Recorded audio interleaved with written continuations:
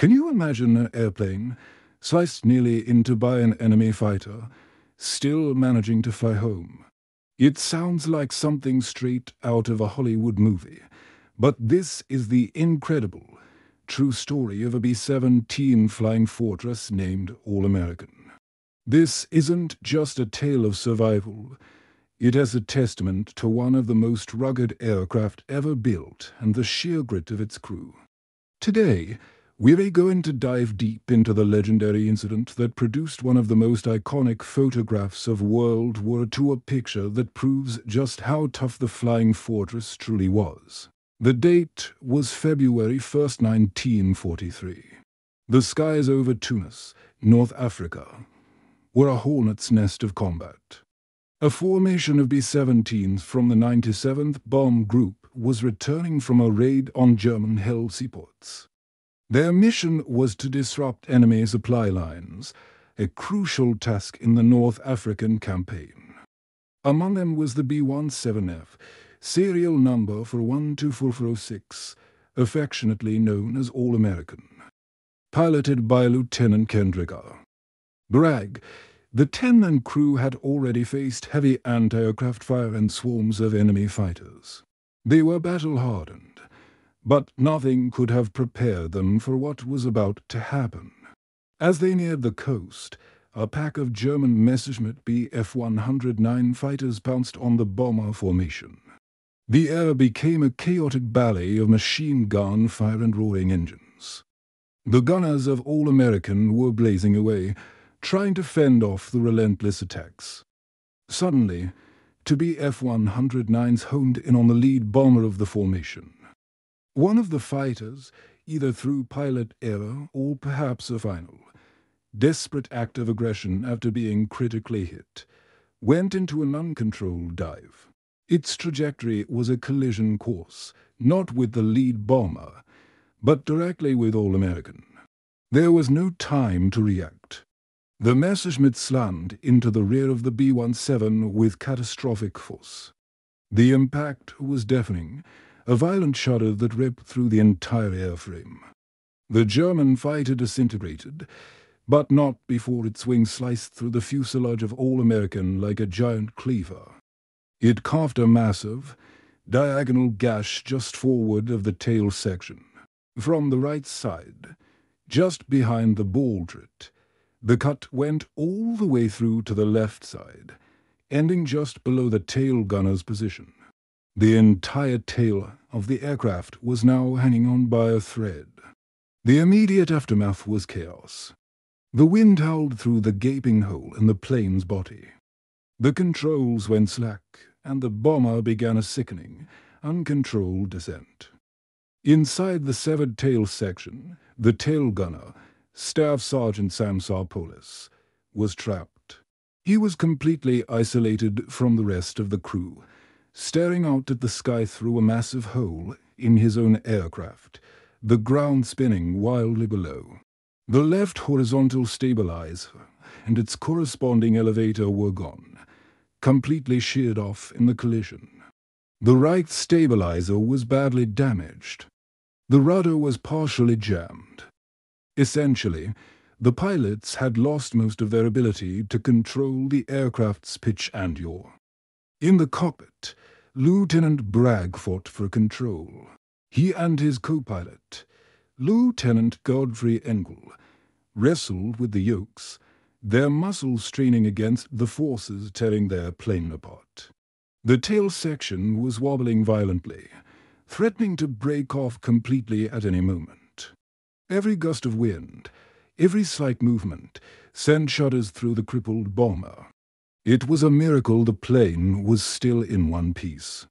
The structural integrity was compromised to a degree that, by all rights, should have been fatal.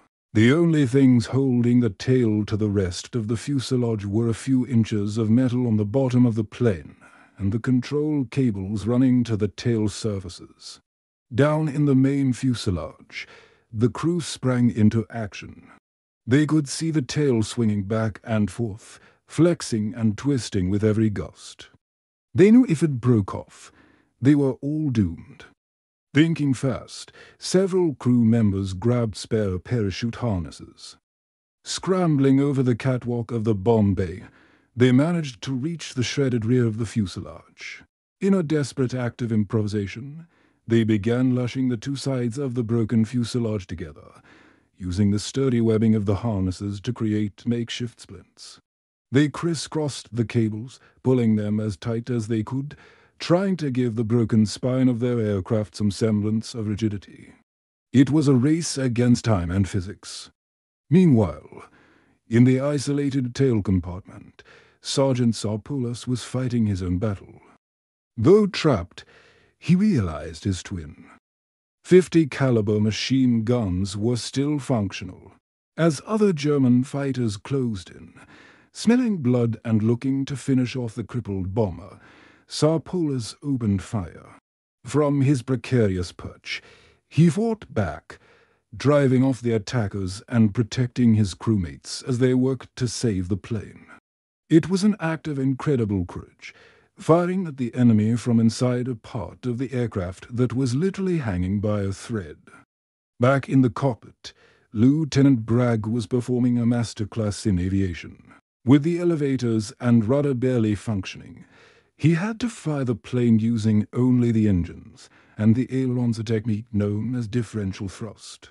By carefully adjusting the power to the foot engines, he could gently steer the aircraft, nudging its nose left or right. To control his altitude, he had to use subtle adjustments in power and wing trim. It was like trying to balance a plate on a needle point. Any sudden or aggressive maneuver would put too much stress on the damaged fuselage, and the tail would snap off. He had to fly with surgical precision, nursing the wounded bird through the sky. The journey back to their base in Biskra, Algeria, was an agonizing 90 minutes. Every second was filled with tension. The crew watched the makeshift repairs, praying they would hold. Bragg kept his touch on the controls as light as possible. The rest of the bomber formation, witnessing this unbelievable sight, slowed down and flew alongside All American, offering what little protection they could. They were escorting a ghost, a plane that had no business still being in the air. As they approached the airfield, another challenge loomed, landing. How do you land a plane that's broken in half? The normal landing procedure was out of the question. Lowering the flaps or the landing gear would change the aerodynamics too drastically and could be the final straw that broke the planer's back. Bragg decided to attempt a long, straighten, high-speed belly landing. He brought the plane in fast and flat, aiming to slide it along the runway on its belly to minimize the impact forces. As the ground rushed up to meet them, the entire crew braced for the end. With incredible skill, Bragg eased the bomber down. It touched the earth with a grinding screech of metal under it, sliding for hundreds of feet before finally skidding to a halt. Silence dot then, disbelief. They had made it. The ground crew rushed out to the runway, their jaws on the floor. What they saw was real. The All-American sat there, its tail connected by mere scraps of metal and parachute straps, a massive wound carved into its side.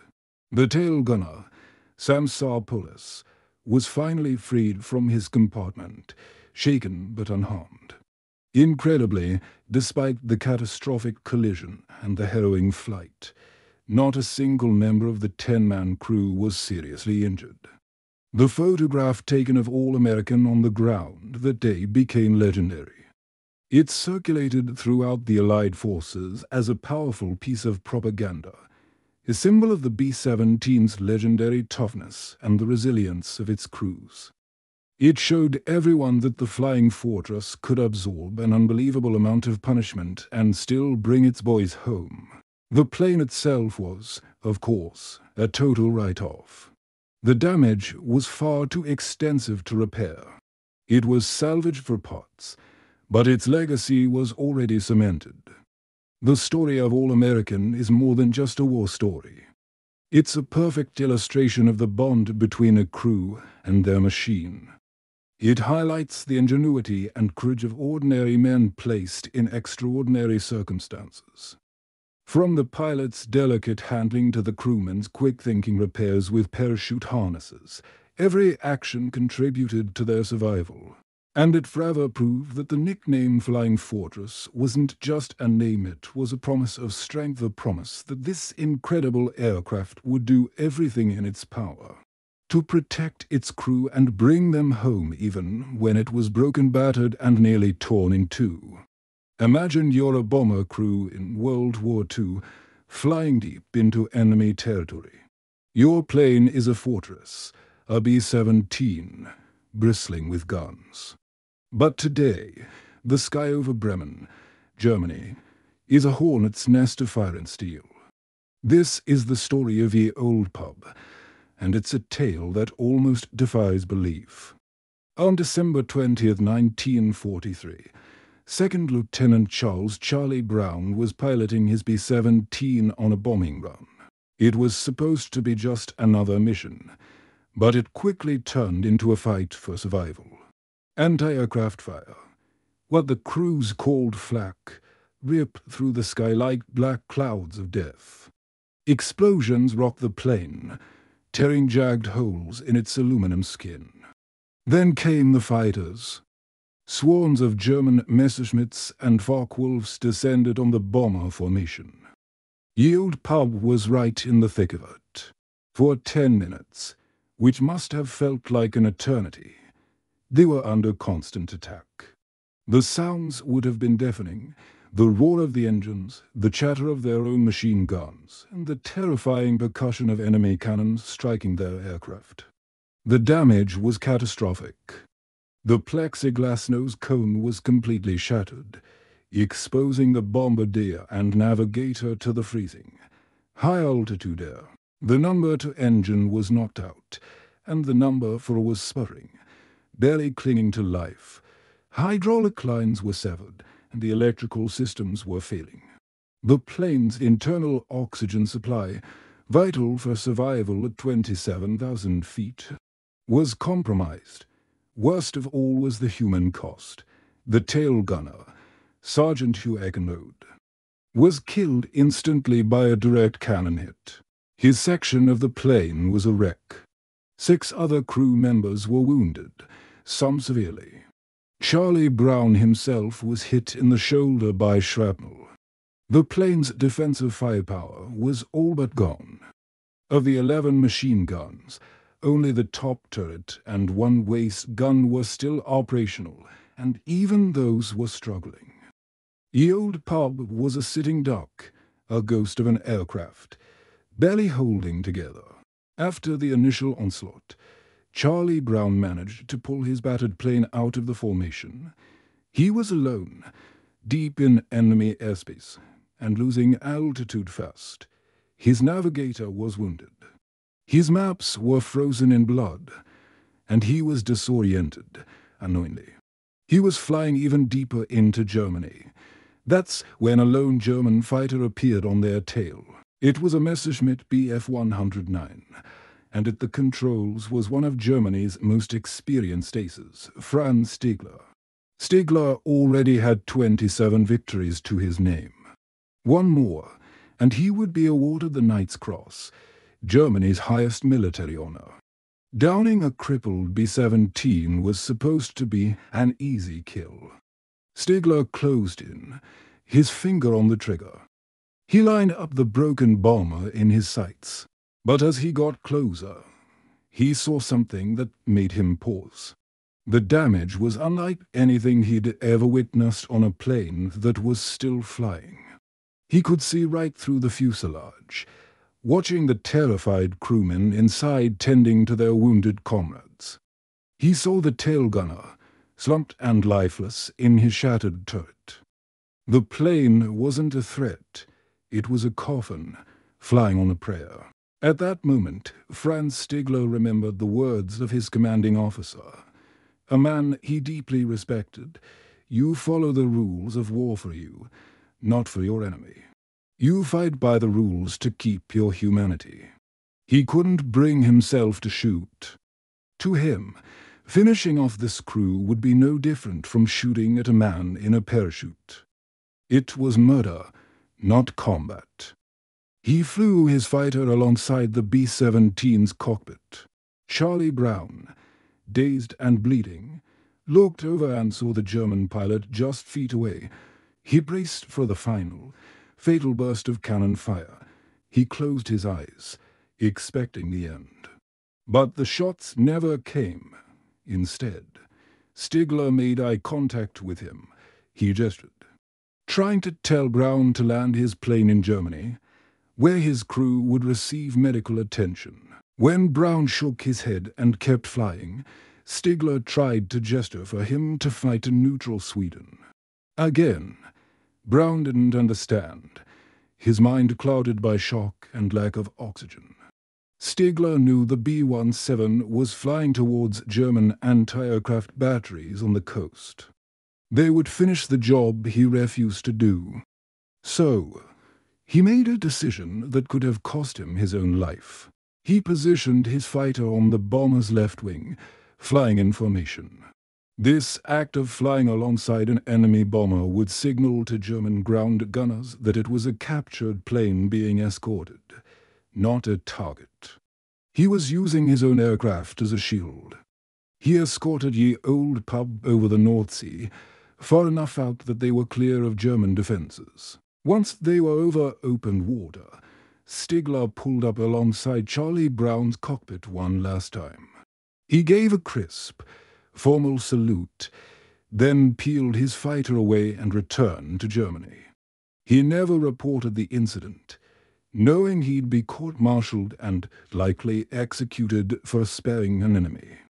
Charlie Brown, against all odds, managed to fly his shattered bomber 250 miles across the North Sea and landed back in England. Upon landing, the ground crew was stunned.